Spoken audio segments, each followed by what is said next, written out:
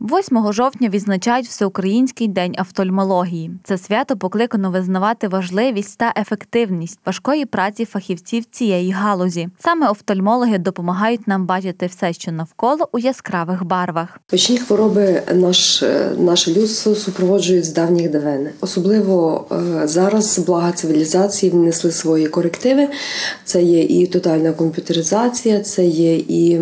Ем, Переселення людей, це є і спадковість, безумовно, грає роль. Робота офтальмолога полягає у діагностиці стану очей, виявленні певних відхилень і призначенні відповідних лікувальних заходів. Пані Наталія розповіла, які хвороби очей найчастіше зустрічаються у пацієнтів.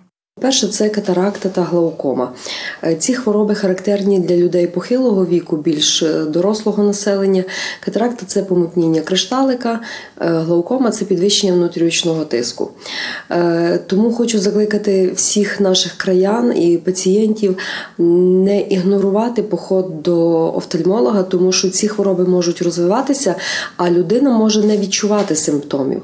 Тому один раз на рік, будь ласка, звертайтеся до лікаря лікаря-офтальмолога. Багато подразнюючих факторів впливають на наш зір, так чи інакше шкодять йому. Тож як уберегтися від них? Погіршення зору е, впливають, впливають е, такі подразники, як Перенавантаження очей, коли людина зловживає гаджетами з монітора комп'ютерного іде в монітор телефонний, в планшет, в телевізор, і це відбувається безперервно. Відповідно, іде перенавантаження зорового аналізатора і маємо.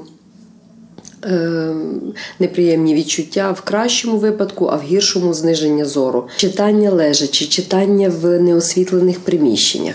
По-третє, це є це є е, правильне харчування, тобто неправильне харчування, е, тому що е, очі наші напряму стан наших очей напряму залежить від того, чим людина харчується. Окрім вчасного виявлення певних зорових проблем, потрібно вдало підібрати лікування та окуляри в разі їх необхідності. Це також треба вміти робити правильно. Будь-які окуляри має підбирати лікар особливо ті, які для для зору, тому що є е, певні правила виписування окулярів, і людина має прийти в оптику з рецептом, де написано все як має бути за правилами.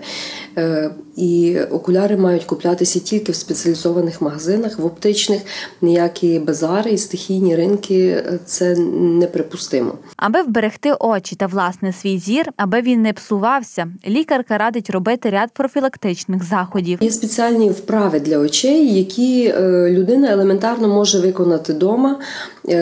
Ну, але якщо цьому присвячувати 5, 7, 10 хвилин у день, ви навіть відчуєте відразу результат. Ну і, звичайно, не зловживати гаджетами, е, не перенавантажуватися, нормально правильно харчуватися, висипатися 8 е, годин на день. І якщо вже людина потребує окуляри, то їх треба носити. Пані Наталя зазначає, що великий вплив на зір людини має саме її харчування. Тож, аби бачити краще, ваш раціон повинен бути збалансованим. Людина, якщо вона правильно харчується з відповідними е, компонентами в їжі, які потребуються для правильної роботи очей і для хорошого стану зорового аналізатора, то вона й не буде мати Е, відповідно проблем. Я хочу сказати про вітаміни групи А, які є у таких е, продуктах, як морква, зелена петрушка, укроп, зелений перець болгарський, капуста. Але треба сказати, що вітамін А він всмоктується в організмі тільки з жиром. Якщо, наприклад, взяти стакан морквяного соку і капнути капельку олії, то лише тоді цей каротин всмокчиться туди, куди нам потрібно в організмі.